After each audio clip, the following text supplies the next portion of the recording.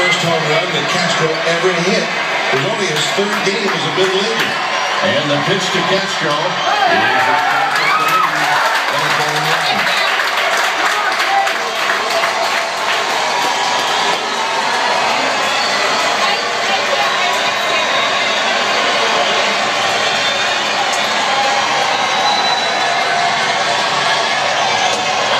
with a fastball, leading the count. One ball and one strike. Castro started last night. And went one for four.